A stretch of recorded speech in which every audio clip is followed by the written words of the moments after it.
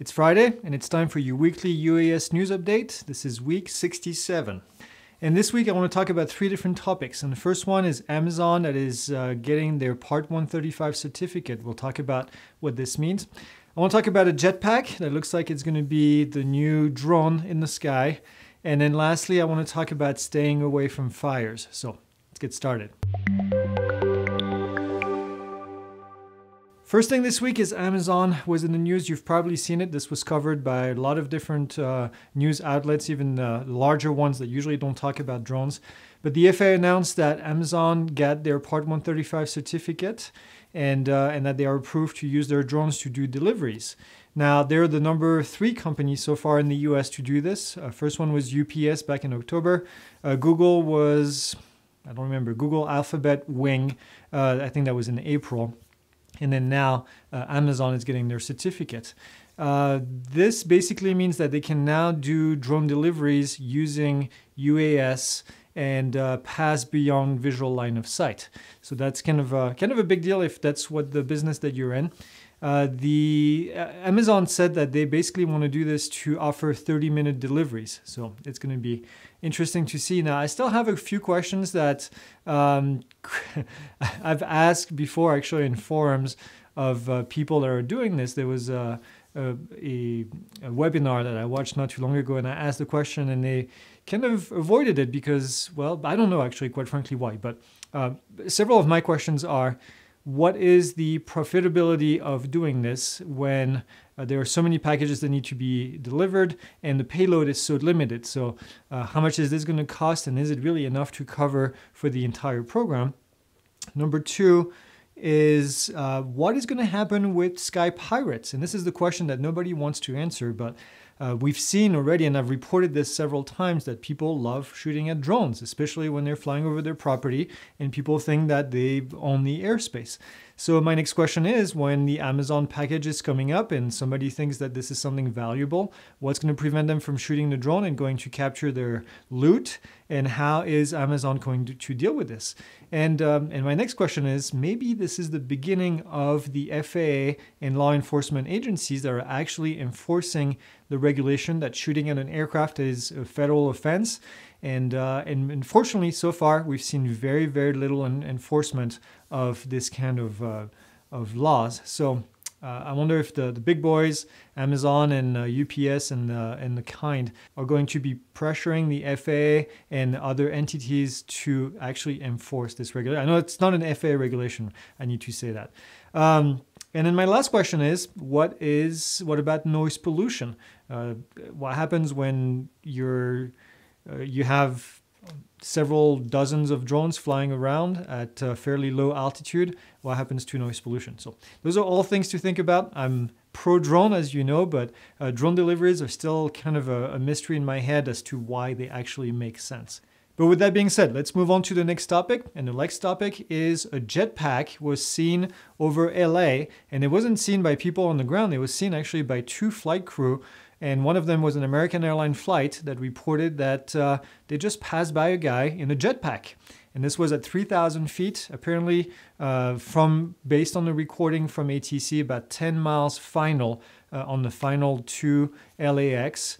And um, just find it very interesting. Not only one person, but two crews, two different crews reported that there was a jetpack or what looked like a jetpack, and they got pretty close to it. So uh, ATC, you can hear them on the recording, actually said, uh, told other aircraft to avoid the area.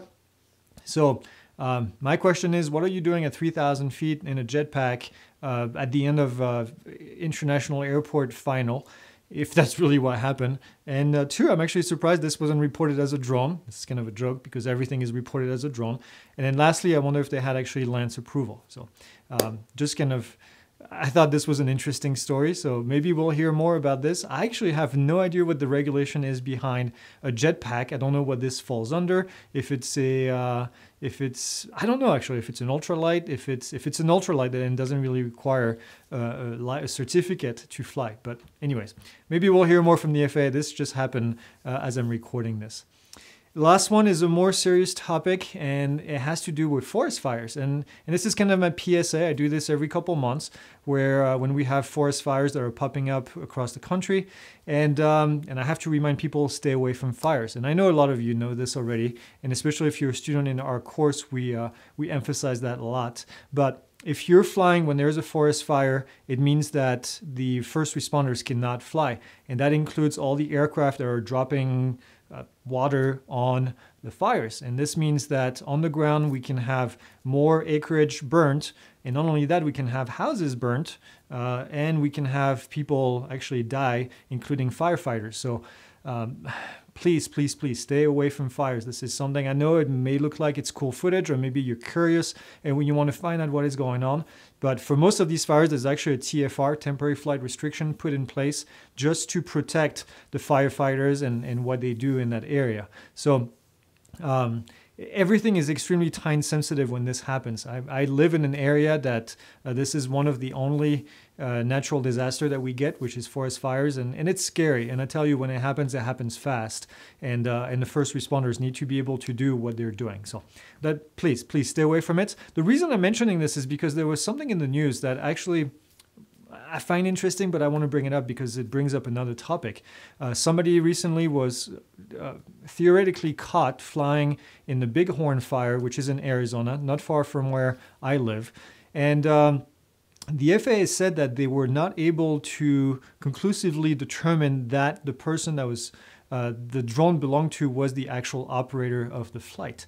And this actually brings up an issue that we see a lot. We ask the FAA to enforce the regulation that's in place. I know I do, and I know a lot of other people do, uh, because because we have a lot of regulation in place, and we don't need more regulation if this one is not enforced. And, uh, and what the FAA often says is that they don't really have a way to identify the person who's actually flying. They know that maybe the drone was flying, but not they cannot associate it with the person who's actually flying the drone. So it's almost like somebody is driving a car and they hit someone and then they, it's a hit and run, then it's difficult to uh, say who was actually driving the car. Um, but so this is a recurrent theme that we hear, and uh, and I don't know that there's a solution. Quite frankly, I'm, I do not work at the FAA. I don't know if there is any uh, changes that can be done to the regulation, but uh, it's kind of sad. But they said that they actually talked to the person, I guess, that owned the drone, and uh, and gave them uh, a written notice and a, a verbal warning of uh, what not to do. So, if you want to see the article, I put a link down there. But stay away from fires. That's the bottom line. This is all I have for you guys this week. Um, I tried to actually keep it short. Not a whole lot going on in the uh, in the drone news, and uh, we have a um, we're working on actively working on the course right now, which is going to be pretty cool. Coming out in a little bit, but uh, I'll give you more information as we get closer to releasing it. So that's all I have. Have a great weekend, and uh, and if you haven't subscribed yet, I know a lot of you watch us and are not subscribers, but we do this every single week. So if you want to get notifications of uh, new uh, videos coming out every week, then uh, just subscribe down here, and then um, I'll see you guys next week.